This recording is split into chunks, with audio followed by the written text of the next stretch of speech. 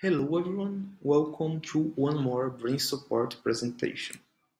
This presentation is about slim electrode and snap electrode caps. Here on the left we have the old electrodes and on the right we have the new ones. So the new ones minimize the preparation times.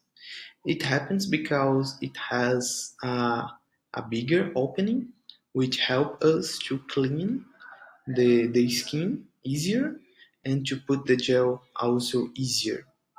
So it also has a impedance conversion circuitry as the old one and the LED impedance feedback where we can see the uh, feedback of how how big the impedance is. It has three colors, um, red, yellow and green representing uh, if we need to put more gel or clean more the skin in real time.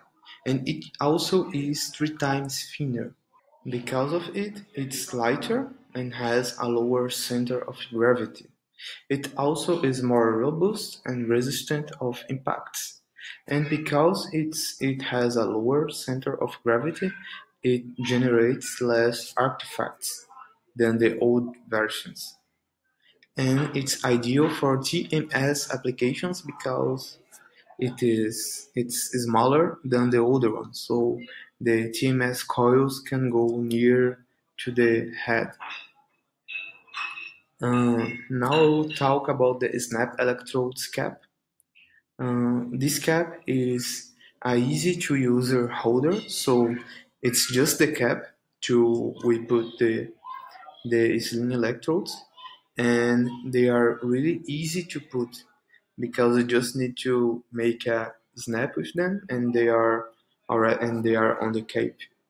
Uh, we also can use different different uh, groups of slim electrodes in the same cap and it has different colors to to speed up the preparation. So the difference is the slim are the electrodes and the snap is the cap. So thank you for your attention.